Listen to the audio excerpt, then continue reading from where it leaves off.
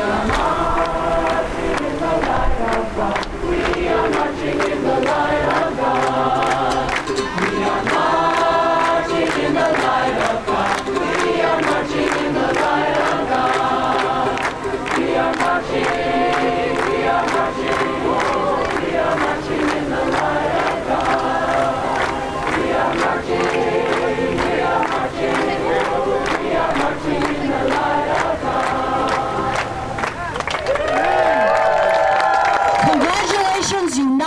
Church of Christ, for declaring ourselves an immigrant welcoming church. I would like the government and immigration officials to know and understand the pain they cause when they mention the word deportation.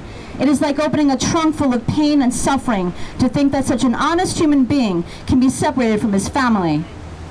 My, my father came to the States 12 years ago, a man without criminal charges who had only dreamed of finally getting out of the darkness, of leaving behind the fear of being separated from his family again. Today, his grandchildren are the driving force that spurred him on. My father is an artist who works as a carpenter. He made the chicken sculptures that decorate the center of Annapolis. with the United Church of Christ, with all of us gathered in this place so that we can share in this message because this is an unjust law.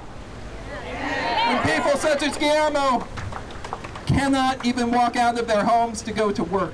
It is totally unacceptable that you separate parents from their children. No permitimos que separen a padres y a madre de sus hijos y de sus hijas. And when you get the church angry, we decide to get our hands dirty. We decide to get involved. We walk the streets. We preach the gospel not only on Sunday, but we demand justice on Monday, Tuesday, Wednesday, protest, and we fight for the rights and the dignity of all people. Scripture says, when a stranger resides in your land,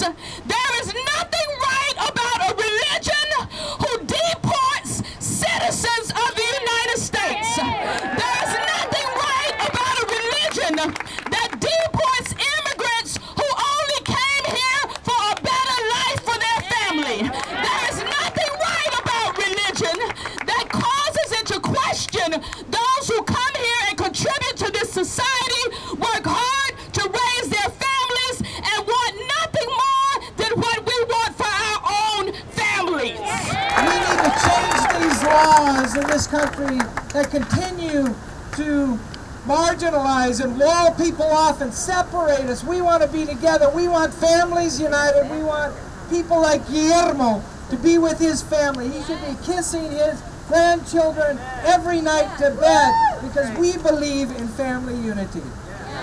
So we will continue that struggle in our place along the border, but you need to continue your struggle wherever you are, whatever community. Find the immigrants and be with them, stand with them, work with them, walk with them. Amen.